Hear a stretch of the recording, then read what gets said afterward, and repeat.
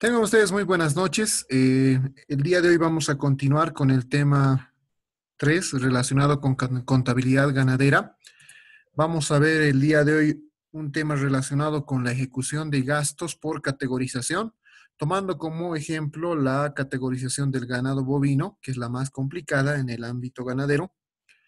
Y vamos a ver un poco eh, la resolución del ejercicio en aula número 3 que les envié esta tarde eh, en, una primera parte. Vayamos a ver entonces esa situación para el día de hoy. Voy a compartir pantalla. A ver, inicialmente quiero compartir esta pantalla con ustedes. Eh, quiero hacer un breve repaso antes de iniciar la ejecución de gastos eh, relacionado con la cría y recría del ganado vacuno, ¿no? Como ustedes observarán acá en este cuadrito que lo vimos en temas anteriores, donde podíamos observar el proceso de, eh, eh, proceso de producción del ganado vacuno, en este caso, desde el sistema de reproducción hasta la categorización inicial eh, del primer año, tanto en torillos, novillos y en vaquillas, de acuerdo a la forma de explotación. Entonces, quiero repasar un poquito este cuadro y explicarles algo fundamental, ¿no? Aquí nosotros podemos encontrarnos con la cría y recría del ganado vacuno, con un sistema de reproducción donde un toro y una vaca reproductores a partir de los tres años, contablemente hablando, un reproductor se considera eh, como tal una vez cumplidos los tres años, entran a un determinado sistema de monta, que puede ser a campo abierto, a corral o a galpón, y posteriormente la vaca va a entrar a un proceso de gestación de nueve meses. Nace el ternero, el ternero eh, eh, eh, entra al proceso de producción. A los dos meses se le, se le hace el proceso de descorne, ¿sí? donde se va cortando la punta de las astas. Posteriormente, a los seis meses, se hace el proceso de destete, la separación de la madre, ¿sí? A los diez meses se hace la marcación. Y una vez que se llega a, cumplir un año el ternero macho hembra, este se va a categorizar de acuerdo a sus condiciones físicas, peso, raza, en fin. En el caso de un ternero macho que sea un futuro reproductor, se categorizará como torillo de un año, luego pasará a torillo de dos y posteriormente pasará a, toro reproductor de tres años. En el, caso, en el caso de una vaquilla que también cumpla las mismas condiciones físicas, eh, de especie y peso pasará a, la categoría de vaquilla de un año, vaquilla de dos y posteriormente vaca reproductora.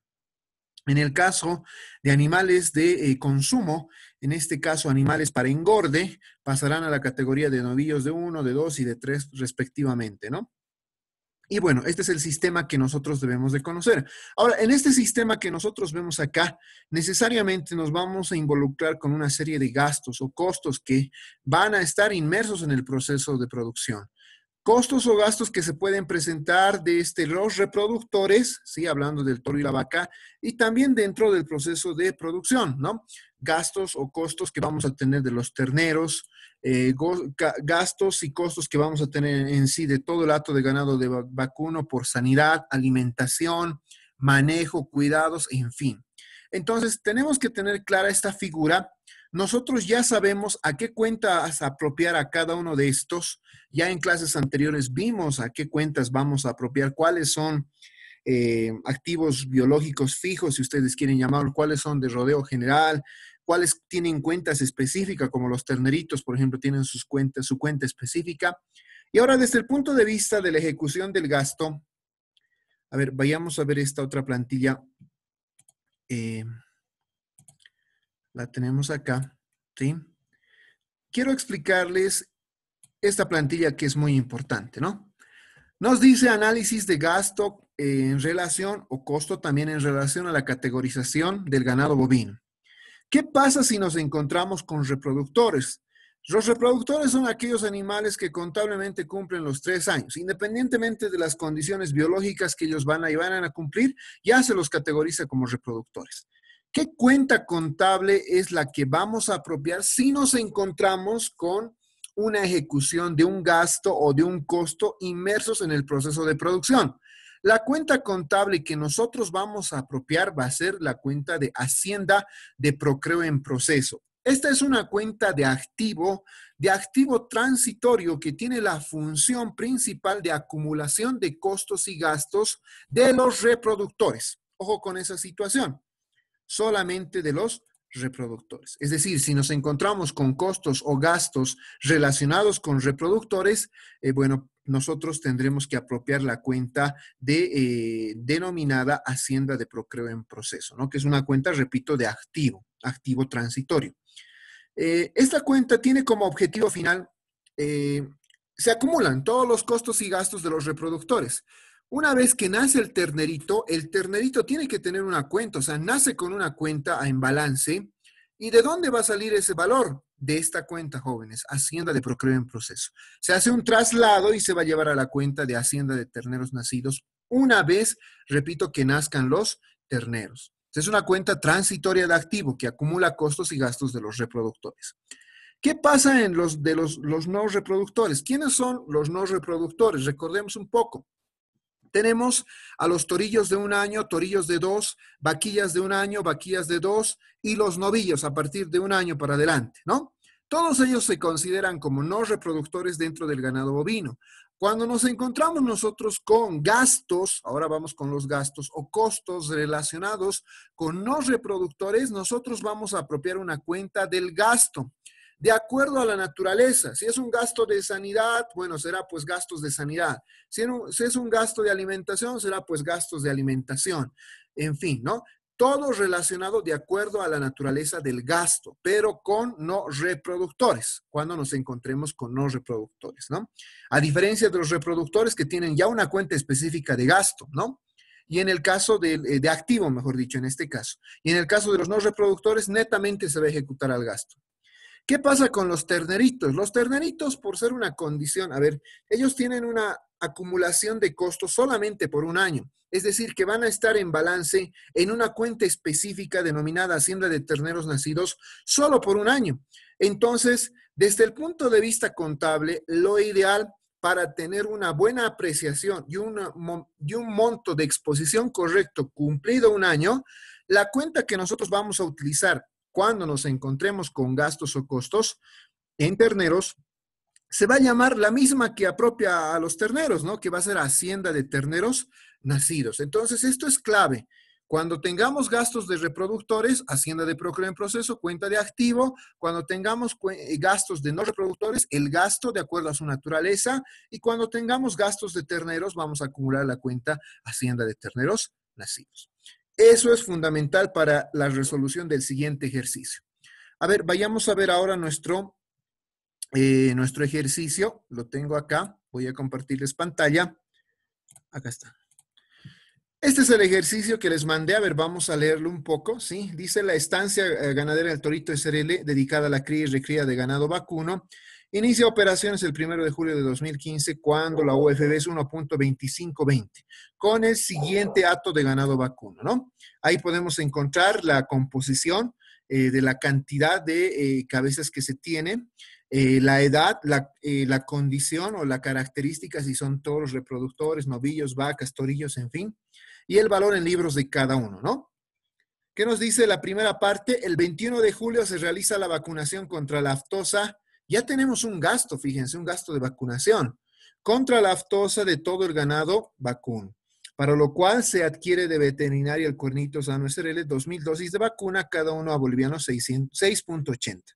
Además, se contrata un agrónomo como consultor, el cual emite factura a quien realiza la revisión. Otro gasto, fíjense, tenemos un gasto de vacunación y por otro lado vamos a tener un gasto de revisión de todo el acto de ganado vacuno, ¿no? Eh, quien nos cobra un, monto de bolivianos 50 por cada animal. Entonces, esto es lo que vamos a resolver inicialmente en esta primera parte. A ver, vamos a ver ahora esto. Yo lo bajé a un archivo Excel. Eh, acá está, ¿no? Entonces, eh, tenemos el ejercicio en aula 3. Estamos partiendo del 1 de julio de 2015, cuando la UFB es 1.2520. Lo de la UFB más adelante les voy a explicar. Esto se aplica cuando tenemos activos biológicos fijos, el caso de los reproductores y el tratamiento del valor eh, residual, que lo vamos a ver más adelante. No me meto un poco con esto, lo voy a ver más adelante si me alcanza el tiempo. Y acá yo lo vacío, ¿no? Tengo las cantidades de las cabezas, tengo el detalle, ¿sí? Eh, ya los separé como eh, en una parte reproductores, en otra parte no reproductores y a los terneros también los separé. La edad y el valor en libros de cada uno. Entonces, ¿qué es lo que hice? Totalicé la cantidad de cabezas existentes, en este caso son 595 cabezas eh, en total, ¿sí? Y lo que hacemos es sumar los reproductores. ¿Cuántas cabezas tenemos, no? Entonces sumamos, en reproductores tenemos 10 toros más 50 vacas y tenemos 60 cabezas en reproductores. En no reproductores tenemos, bueno, 280 novillos más 15 torillos más 50 vaquillas y tenemos 345 eh, cabezas. Y en terneritos tenemos 150 terneros hembras más 40 terneros machos y tenemos ahí 190. Total cabezas 195, o perdón, 595, ¿sí? Ahora lo que vamos a hacer es lo que vimos hace un momento en las plantillas. Vamos a ver los gastos. En este caso, el primer gasto que tengo es de vacunación, ¿sí? Eh, lo que vamos a hacer inicialmente va a ser una compra de dosis. Veamos el ejercicio. Nos dice que vamos a comprar, a ver, eh, creo que son 2.000 dosis, ¿sí? 2.000 dosis de vacunas a bolivianos 6.80 cada uno de cuernito SRL, ¿no? De cuernito SRL. Entonces, lo que hacemos es cantidad, comprar 2.000 dosis, ¿sí? A un costo unitario de 6.80. Eh, y tenemos el total de la compra que va a ser, eh, multiplicamos, ¿no? 2.000 por 6.80. 13.600 bolivianos. Como es de Cuernito eh, Sano SRL, una empresa deducimos aquí el 87% y el 13% respectivamente del total de la compra. Es decir, de 13.600 sacamos el 87% y de 13.600 eh, también sacamos el 13%. ¿Ok? Y bueno, ahí tenemos los cálculos correspondientes tenemos 11.832 en el 87% y el 13% 1.768. Lo primero que vamos a hacer es registrar un asiento por la compra de las dosis, ¿no? Podemos utilizar una cuenta de activo. Ojo, en este caso todavía no estamos aplicando, solamente estamos haciendo la compra de las 2.000 dosis. Entonces, lo que podemos aquí aplicar es eh, almacén sanidad, ¿sí? Una cuenta de activo. Eh, registramos el 87%, que es 11.832. Otra cuenta de activo, registramos que es crédito fiscal IVA, que apropiamos el IVA, que son 1.768, y vamos a pagar con una cuenta de activo. Ya dijimos, explicamos la anterior clase que una cuenta de caja grande para nosotros en el campo agropecuario se llama fondo compras, ¿no? Entonces utilizamos fondo compras y ahí tenemos el asiento por la compra de las 2.000 eh, dosis para la vacuna contra la aftosa. ¿Para qué hice esto? Para determinar un costo unitario por dosis. ¿Sí? ¿Cómo obtengo ese costo unitario por dosis? Sencillo. Agarro el 87% de lo que he comprado menos el impuesto y voy a dividir entre las cantidades de dosis que compré, en este caso son 2.000 unidades. Y el costo unitario va a ser 5.916. Y vamos a aplicar todos los decimales en este caso, ¿no? Para tener un costeo adecuado. Lo primero que se hace entonces es comprar. Se está comprando las 2.000 dosis. Todavía no estoy aplicando, pero ahora sí vamos a hacer la aplicación correcta. Aplicamos. Ok. Para tal necesito este cuadrito. ¿Sí? Eh, en reproductores tengo 60. En no reproductores tengo 345. Y en terneros tengo 190. Total 595. Esta es la cantidad que, tengo como de cabezas de ganado. Ahora voy a aplicar un costo unitario, ¿sí? Por dosis porque eh, eh, en realidad he comprado 2.000 dosis, me, basta y me sobra para aplicar, ¿sí? más que suficiente, pero lo que tengo que aplicar es un costo unitario por dosis menos el impuesto. Y ese costo unitario por dosis lo tengo acá, ¿no ve? Eh, copiamos esto y es 5.916 con todos los decimales. Y lo que vamos a hacer es ahora aplicar a los grupos de reproductores, no reproductores y terneros. Y voy a tener un total. Entonces, 60 por 5.916 con todos los decimales, 345 por 5.916 y por último 190 por 5.916, ¿no? Y está, ya tengo todos los valores acá. Sumo, voy a sumar y listo, ¿no? Este es el costo total que voy a aplicar. Entonces, eh, vayamos ahora al asiento contable de ajuste en este caso. Vamos a copiarnos este tenor. Y fíjense, ahora aplicamos lo que les expliqué hace un momento. Cuando tenemos reproductores, yo tengo que apropiar una cuenta de activo cuando tengo gastos relacionados con los reproductores. En este caso, la cuenta de activo va a ser Hacienda de Procreo en proceso. Hacienda de Procreo en proceso. Es una cuenta de activo que apropia el gasto de los reproductores. ¿Cuánto es el gasto de los reproductores en este caso una vez aplicado costeo? Aquí está, 354.96, ¿correcto? Luego voy a aplicar una cuenta del gasto, en este caso para los no reproductores. La cuenta de gasto que yo voy a aplicar se va a llamar vacunación directamente, porque es una cuenta relacionada con vacunas y aplico el costo que 2041.02. ¿Y qué pasa con nuestros terneritos? A nuestros terneritos dijimos le vamos a apropiar una cuenta específica que es la cuenta de Hacienda de terneros nacidos. ¿Sí? Hacienda de terneros nacidos, que es 1124. Ahí está, ¿no? 1124. Todo contra, eh, ¿de dónde estoy sacando las vacunas? Aquí está, ¿no? De almacén, sanidad. Almacén, sanidad. Al haber bolivianos, total, ¿no? 3.520. Comprobamos que está bien la suma. Efectivamente, tenemos sumas iguales, ¿no? Ok. Ahí está. Ahí está, jóvenes, ¿no? Entonces, eh, repito, cuando tengamos gastos relacionados con reproductores, la cuenta específica que nosotros vamos a utilizar se llama Hacienda de Procreo en Proceso.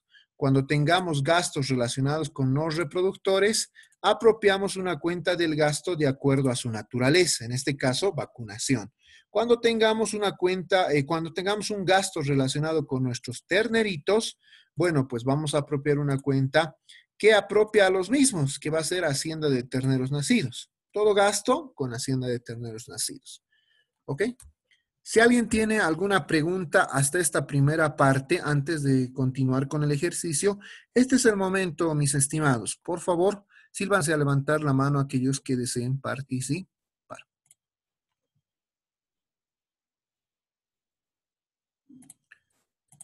¿No hay preguntas? A ver, revisemos.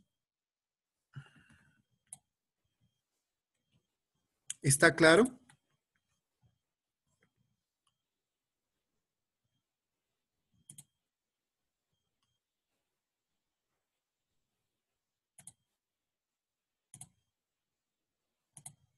¿Alguien tiene alguna pregunta?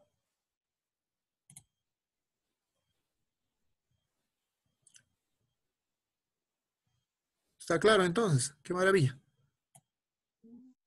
Licenciado, una consulta.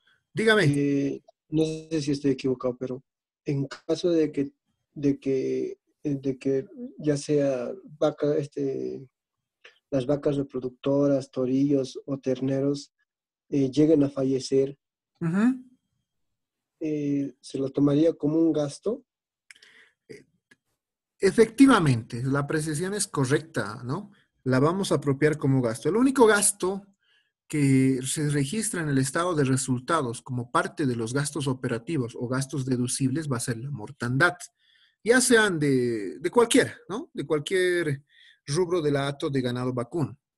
Sin embargo, sin embargo, eh, todavía no hemos llegado a esa parte de la mortandad que tiene una cuenta específica que va a ser bajas por mortandad.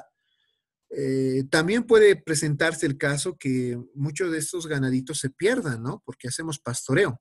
Entonces, utilizamos cuentas específicas para eso, como bajas por pérdida, por ejemplo.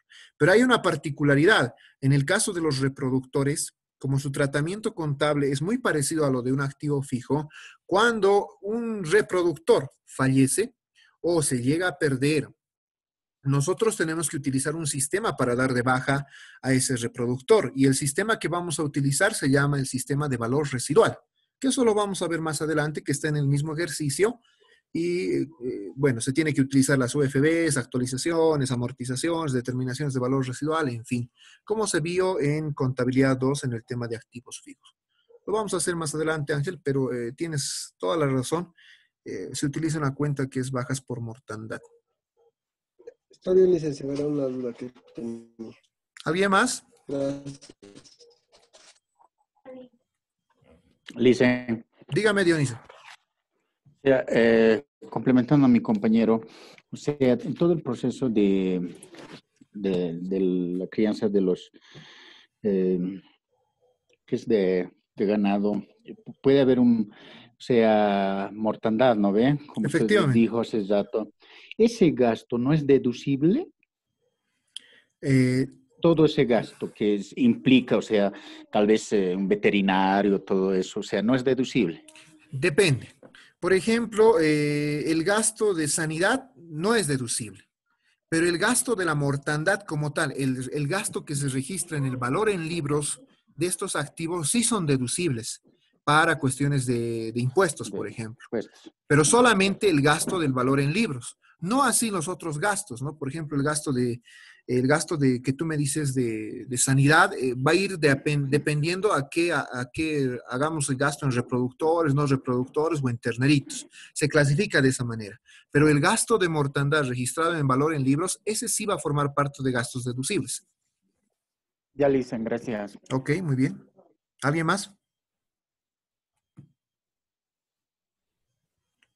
Muy bien. Continuemos entonces, jóvenes.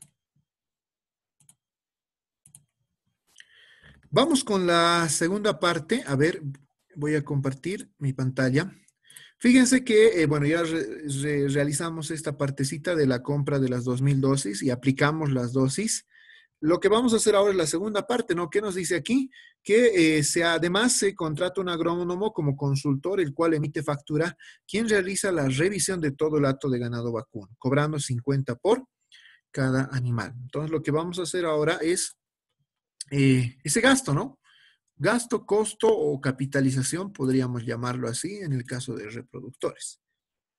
Entonces vamos con el gasto de revisión del ganado.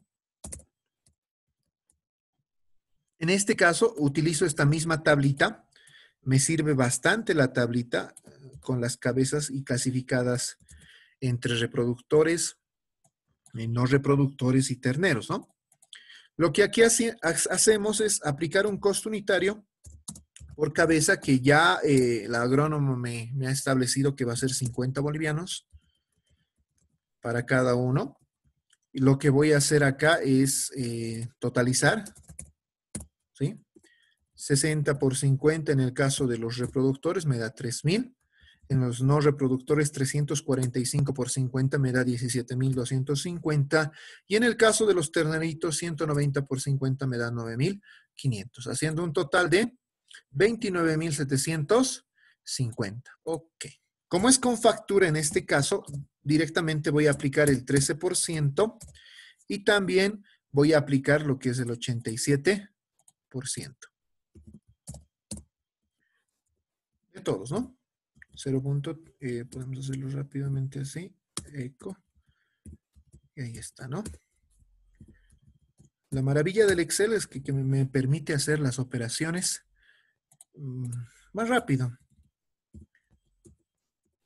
Esto en pizarra estaríamos realizando uno por uno cotejando datos, pero con el Excel lo podemos hacer más rápido, ¿no? Sumamos ahí tenemos todos los montos. Ok.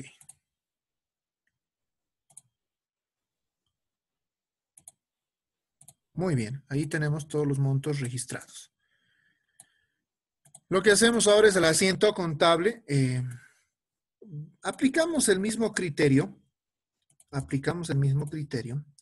En el caso de reproductores, vamos a apropiar la cuenta de, gas, de activo, mejor dicho en este caso, Hacienda de Procreo en proceso.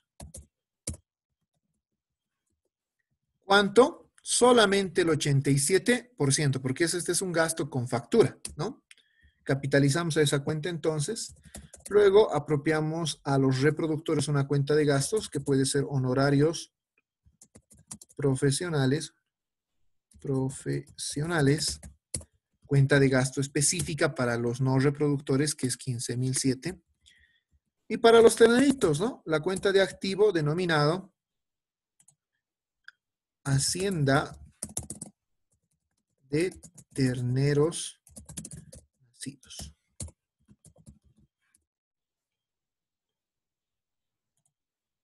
Que es 8.265. Además, apropiamos una cuenta de activo denominado crédito fiscal IVA para la factura, porque me está dando factura este agrónomo y el crédito fiscal suma 3.867. Todo esto podemos pagar con fondo compras. Ahí está. Fondo compras 29.750. Si sumamos todo, me va a dar 29.750 y 29.750. Muy parecido al caso que vimos anteriormente, ¿sí? Para registrar el gasto del agrónomo por la revisión del acto de ganado vacuno, en este caso. Gastos de activo, eh, gastos de reproductores, haciendo de procuro en proceso, gastos de los no reproductores a honorarios profesionales, gasto de los terneros a hacienda de terneros nacidos, como se hizo. Bueno, eh, esta primera parte sería hasta acá. A ver, vayamos a ver el ejercicio nuevamente. Aquí está. Y bueno, se acabó, ¿no? Ya hicimos esta primera parte, eh, lo que es la vacunación y también lo que es la revisión. Lo que ahora tenemos que hacer es esto de la mortandad de los reproductores. Fíjense, el 27 de septiembre, cuando la OFB es 1.2630, muere un reproductor por tuberculosis, ¿no? Porcentaje de amortización 12.5%. Utilice la cuenta bajas por mortandad, lo que decía eh, su compañero Andrés hace un momento, ¿no? Eh, para este caso, jóvenes, a ver, voy a adelantarme un poco porque el tiempo ya no nos alcanza, pero les voy a explicar una primera parte cuando tenemos mortandad, en este caso de reproductores,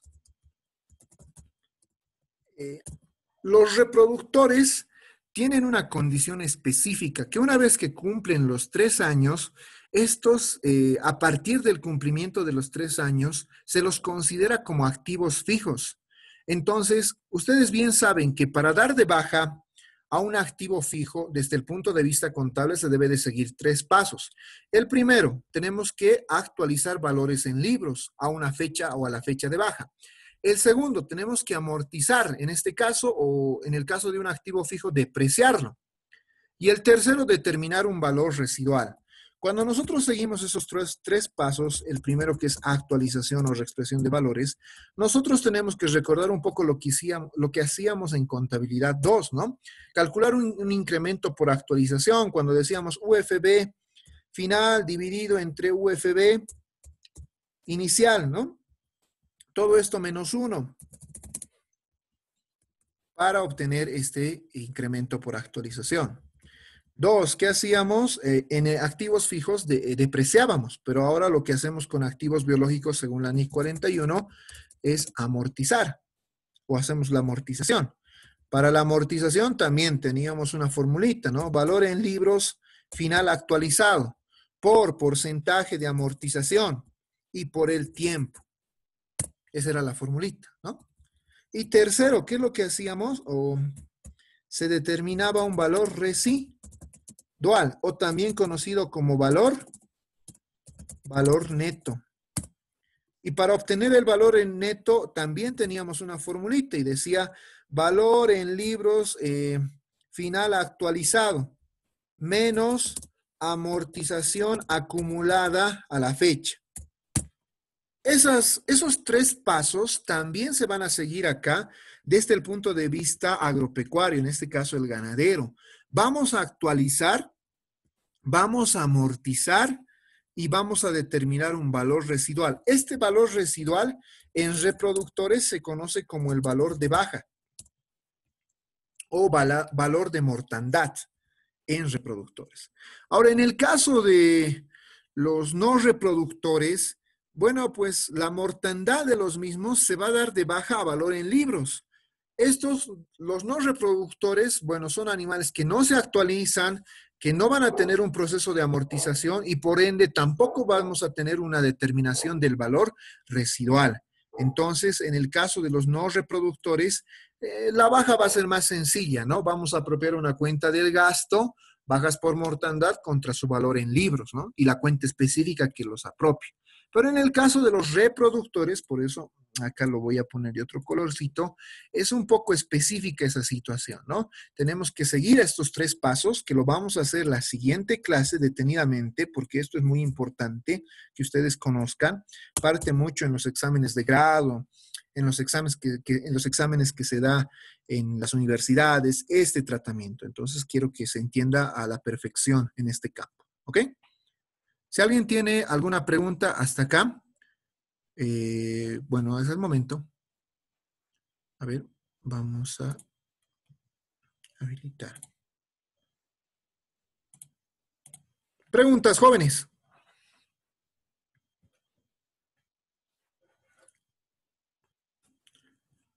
Todos han puesto en el chat su nombre, ¿no? Muy bien. ¿Si hay alguna pregunta?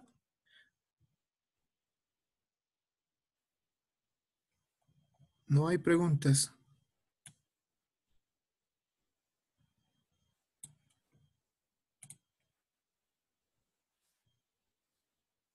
Ok.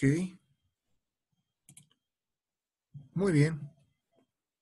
Entonces espero que se haya entendido todo. Nos estaríamos encontrando en otra sesión, jóvenes.